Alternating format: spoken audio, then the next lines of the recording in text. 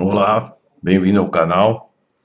No vídeo de hoje sobre FreeCAD, nós vamos falar sobre uma bancada de trabalho que ela também é bastante utilizada, porém os recursos que, elas, que estão disponíveis para essa bancada são os recursos de utilizar alguns modelos, alguns sólidos que são primitivos.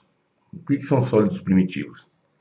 Por exemplo, eu tenho aqui um cubo, né? ele é um sólido primitivo, tem um cilindro, uma esfera, um cone, um toroide e alguns outros que estão aqui, mas os mais utilizados são esses cinco aqui, né?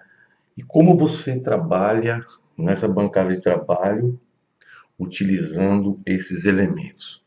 Vamos fazer um modelo aqui simples para vocês poderem ter ideia de como poder fazer esses, esses modelos utilizando essa bancada, né? De forma a poder facilitar se, por exemplo, vocês quiserem fazer alguma impressão 3D, né? Que seja uma coisa mais rápida. Vou trocar aqui a visualização. A bancada é a bancada à parte. Vou escolher aqui um cubo sólido. Então, Observa que ele já insere esse cubo. Se você observar aqui, você vai ver que ele está tudo nas suas dimensões.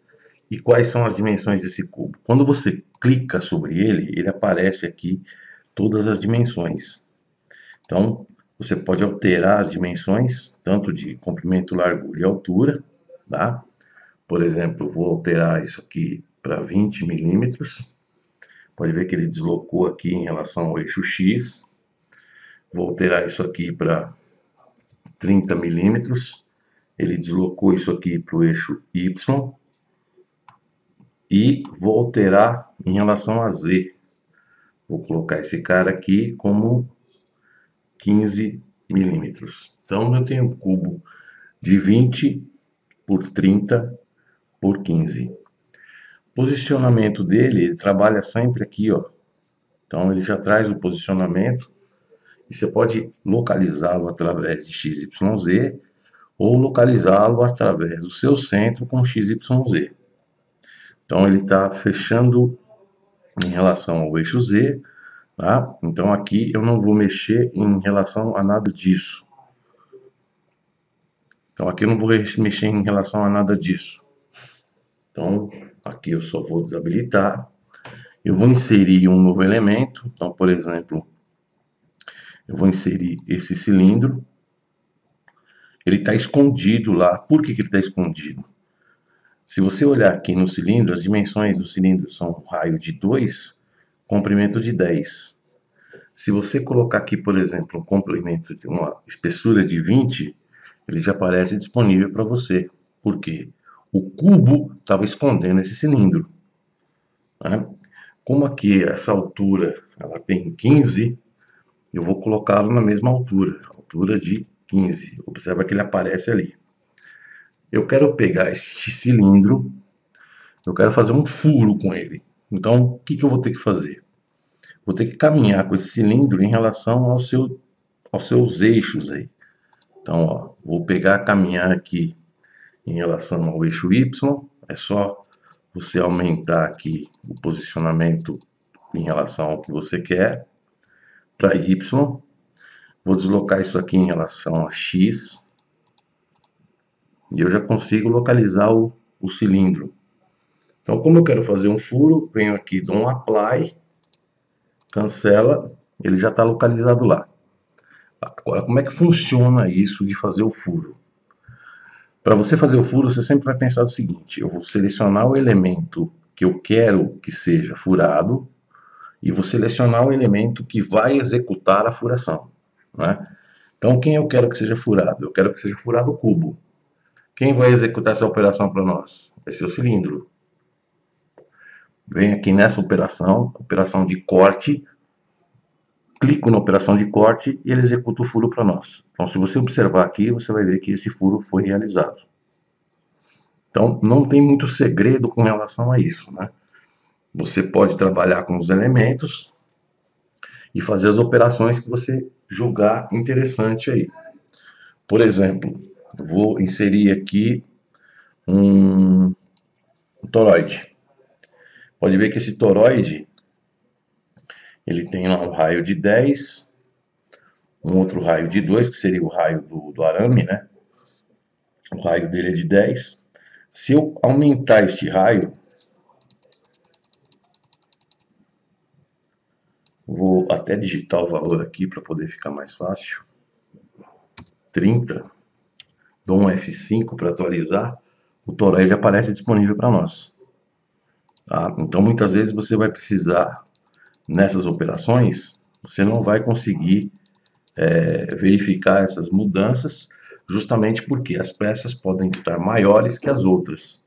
Então, aqui eu vou colocar um E125, vou atualizar um F5, ele já aparece para nós ali disponível.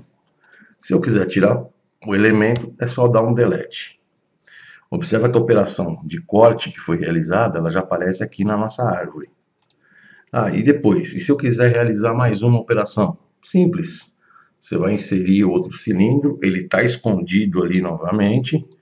Você vai ter que fazer a alteração aqui na sua, na sua altura. Observa que ele apareceu ali. Eu vou ter que posicioná-lo em relação ao que eu quero fazer no meu cubo, né? Então eu vou deslocar aqui em relação a x, vou deslocar aqui em relação a y, fiz ali mais um elemento, cancela, o que eu quero que seja furado, quem vai executar a furação? Então no caso aqui vai ser esse cara. Venho aqui, operação de cortar. Então aqui eu tenho todas as operações, operação de unir, operação de cortar, operação de fazer união de várias, vários elementos. Aqui a intersecção. Nós não executamos nenhuma delas porque muitas vezes quando você vai fazer para esses casos, você vai fazer com que a peça desapareça, se você fizer a intersecção. Então, isso aqui é uma coisa que vocês precisam fuçar, né, para poder conhecer como funcionam essas operações aqui. Aqui eu tenho algumas outras operações que ele vai fazer corte de objetos, conexão de objetos, inserção dos objetos, dependendo do objeto que você está colocando. Aqui você tem algumas outras operações que a gente pode a gente vai trabalhar num outro vídeo mostrando como funciona isso daqui. Então, não precisa criar sketch, né? Você vai fazer o posicionamento direto por onde? Direto pelas propriedades. Então, isso aqui seria uma forma para você poder executar alguma peça de uma forma mais rápida, né, sem precisar trabalhar com a criação de esboço, criação de sketch, que muitas vezes pode ser um problema, dependendo do caso que você está trabalhando. Quando você tem algo mais simples, você pode trabalhar direto com essa bancada. Apesar de que tem alguns outros elementos que podem ser criados através dessa bancada, justamente para aproveitar essas primitivas que já estão montadas. Você não tem que gerar uma nova primitiva trabalhando com a bancada de parte design. Então, essa bancada aqui seria uma bancada importante para poder mexer com isso daí. Tá legal?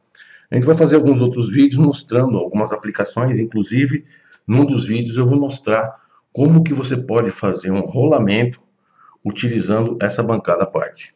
Tá legal? Então não esquece, se você não está inscrito no canal aí, se inscreva no canal. O link do nosso grupo do Telegram está na descrição do vídeo. Se você gostou desse vídeo, deixa o seu like aí e até o próximo.